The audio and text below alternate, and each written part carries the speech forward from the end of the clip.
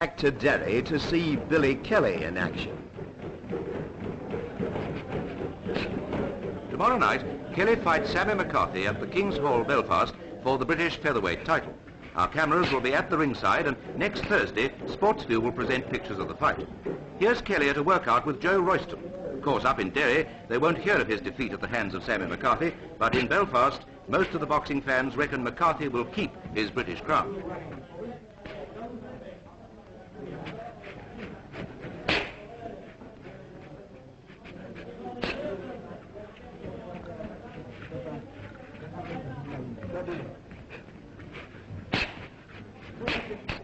Yet Kelly packs a strong punch, and tomorrow night we will get the answer.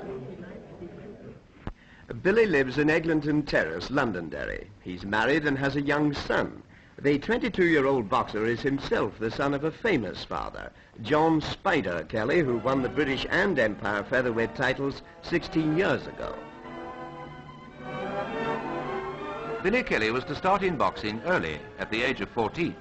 As an amateur, he won 50 out of 54 fights. Turning professional, he has worked his way up under the expert eye of his father, who, though retired from the ring, still paces his son through the streets of Derry on training runs.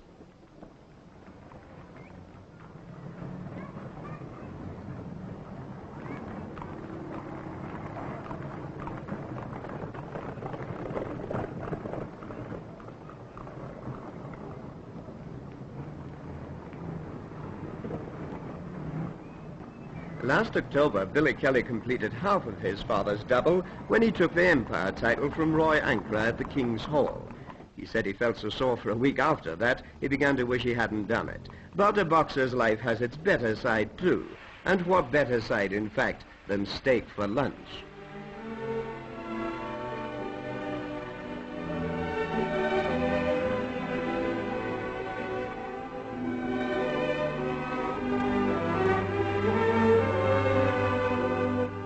Billy eats steak without vegetables, only with bread. And Billy Jr. is there to share father's fare with him. Perhaps a sign that there's yet another Boxer Kelly in the making.